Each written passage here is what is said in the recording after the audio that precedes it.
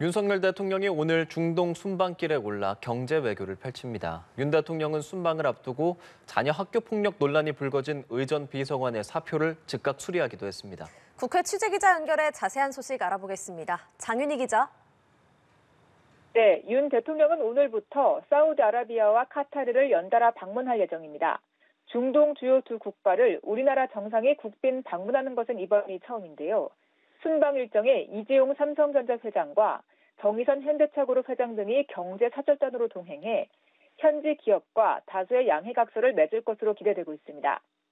이번 수행단에는 자녀 학폭 문제와 그 대응 방식을 두고 논란이 불거진 김승희 의전 비서관은 배제됐습니다. 어제 경기도 교육청을 대상으로 한 국회 국정감사에서 민주당 김영호 의원이 관련 의혹을 제기하자 대통령실은 김 비서관에 대해 공직기강 조사에 들어갔는데요. 김 비서관은 의혹이 불거진 당일 사표를 냈고 윤 대통령은 이를 바로 수리했습니다.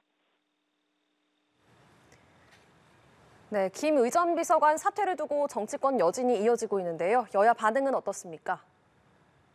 네, 국민의힘은 김 비서관의 사퇴한 것과 관련해 깊은 유감을 표한다며 고개를 숙였습니다. 박정하 수석 대변인은 해당 비서관의 사의를 즉각 수용한 것은 지극히 당연하다고 밝혔는데요. 아울러 국민의힘은 다가오는 총선 공천 과정에서도 학교 폭력 등의 범죄에 대해 특히 엄격한 기준을 적용하고 도덕성을 제1 기준으로 삼겠다고 강조했습니다. 반면 민주당은 이번 사건은 권력형 학폭 무마 의혹이라고 목소리를 높였습니다.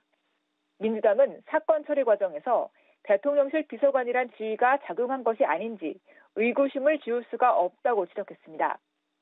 이어 앞선 정순신 변호사와 이동관 방통위원장 등 윤석열 정권 실세 자녀들의 학폭 사건과 무마 의혹에 국민 인내심은 한계에 다다랐다고 밝혔습니다. 지금까지 국회에서 연합뉴스TV 장윤입니다.